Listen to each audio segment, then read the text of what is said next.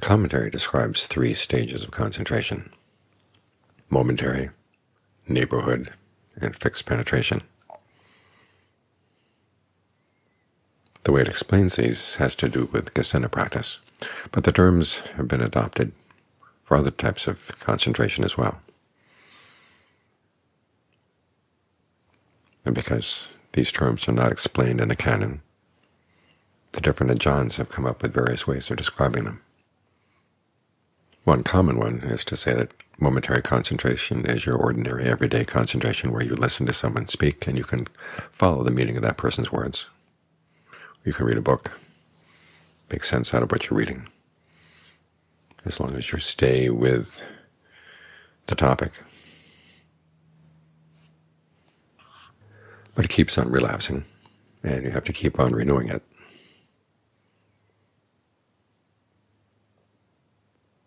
Neighborhood concentration is when you let go of your everyday concerns, and you're beginning to settle in with the object of meditation, but it's not fully secure. There's a drifting quality. It's only when you can reach fixed penetration that you're really one with the object. And that's when you're safe in your concentration. You're alert, energized, still. The type of concentration that's ready for discernment. It's in that intermediate stage that drowsiness can set in. This is where sloth and torpor, as a hindrance, can come in as well. And because it's an inevitable stage of the concentration, you have to prepare so that you don't drift off. As one of the Ajahn says, this is the stage of concentration where you're able to put up with a little bit of pain, but you fall for pleasure. In other words, you lose your topic of concentration, you focus instead on the pleasure that's beginning to arise. And you zone out. This is why Ajaan Lee would have you start the meditation with long, deep in and out breaths to energize yourself.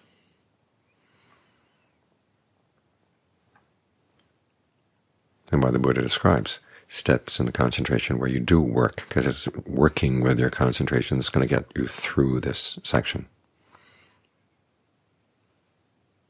Evaluating the breath, spreading the breath around. These are Ajaan Lee's techniques. The Buddha would have you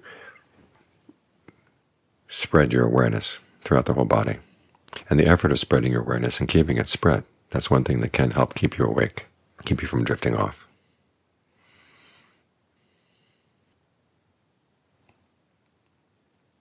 So know that you have to go through this minefield before you settle down. And be prepared.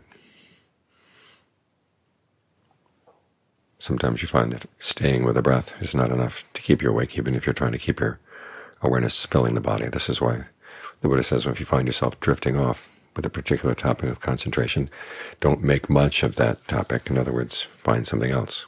Either you change the way you breathe, or you change to another contemplation. You can try imagining the bones in the body. Start with the tips of the fingers, all the bones in the first joints, then move up to the second joints, the third joints. Try to have a sense of the feeling where you are focused on those bones, and then relax that part of the body, and then work up through the hands, through the wrists, through the arms, the shoulders, then start down at the feet and work up through the legs, up the spine. You can think about death. Death could come at any time, and you don't want it to come where you're nodding off. There's work to be done.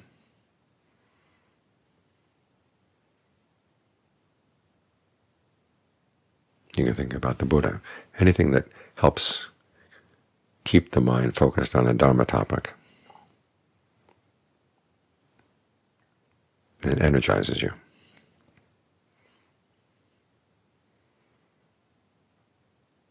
These are the things you do in preparation. There are also things you can do when you find yourself drifting off, in spite of your first efforts. This is where you have to be firmly on the side of not drifting off and not falling asleep. Because there's a part of the mind that will say, these are the signs I'm tired. I need my rest. And you just go for it. So remind yourself, no one has slept their way to awakening. And the mind has its tricks. It's not always the case that drowsiness is a sign that you really do need rest. So you've got to test it.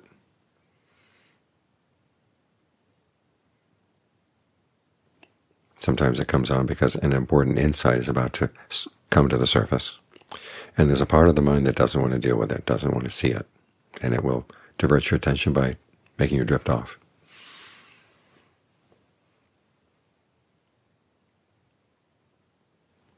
So as signs of sleepiness come on, signs of drowsiness, remember you can't always trust them.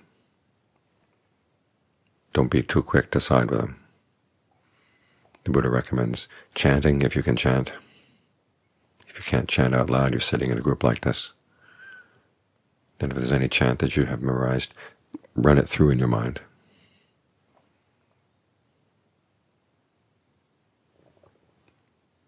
Rub your limbs. You need to, get up and go out and do some walking meditation. Go up and look at the stars if it's nighttime. Refresh yourself.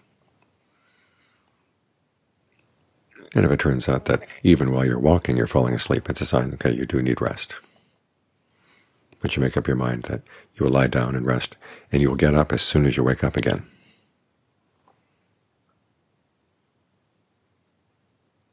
You don't just bury yourself in the sleep. Now, there are other techniques as well. And oftentimes it's good to come up with your own. There was a period when Ajaan Fuang was really sick, and oftentimes I would just stay up with him many hours of the night. He made a comment one time. When he was younger, he'd had really bad headaches, and it gotten so bad that he needed to have monks stay with him when he woke up. They give him compresses, do this, do that. And one night he happened to wake up, and all the monks who were there, supposedly watching over him, were asleep, and he found himself watching over them. The thought occurred to him, who's looking after whom here? He said that to me one time, and I realized that was a message. If I was going to be looking after him, he didn't want me lying there when he needed someone at night.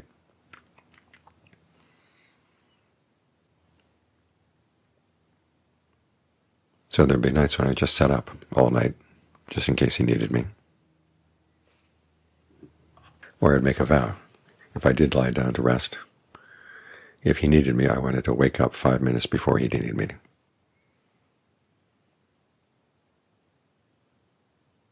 and it worked. But one of the lessons I learned about drowsiness was one time when I had it, when I had a part of the day when I was responsible for looking after him. There were other monks there at the time who could look after him too.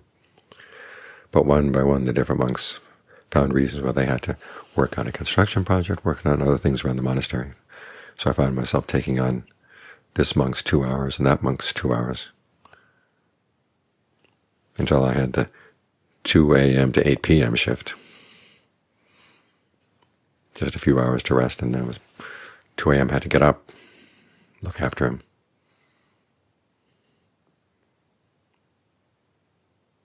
And after several weeks of this, I was really sleep deprived. And getting up at 2 a.m. did not guarantee that I was really going to be awake during those hours. I'd be sitting there and nodding off. And I discovered that if working with the breath, if I tried to stay at one spot, I was sure to go to sleep.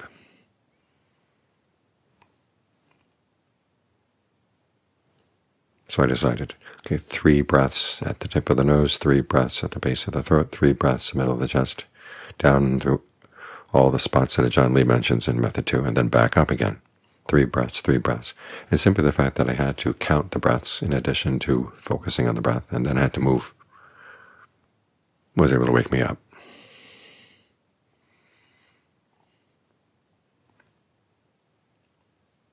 So a large part of this is being on the side of wakefulness and not on the side of wanting to rest, and then trying to find techniques the techniques that work ahead of time to prevent the sleepiness from coming on. And if it does come on, while the mind is beginning to settle down. What you can do to keep the mind active. That's the important principle. Give the mind work to do, here in the body or with some other Dharma topic. And experiment to see what works for you. The fact that you're actually discovering something on your own makes it all that more interesting, because that's the real key to overcoming sleepiness, is to find something that has your interest, something you can explore. And taking on sleepiness as an opponent instead of as your nightly friend gives you a lot to explore and a lot to discover.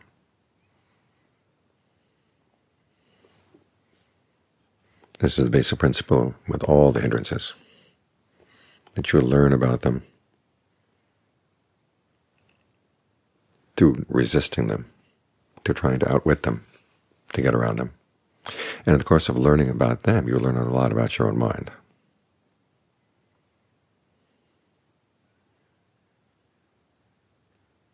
and you reaffirm the original principle for why you're meditating to begin with, which is that you do really want to master this, this concentration, the type of concentration that can lead to discernment.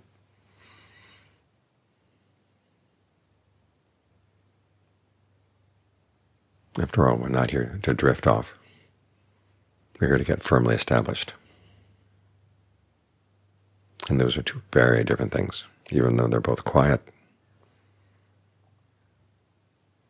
They're quiet in radically different ways.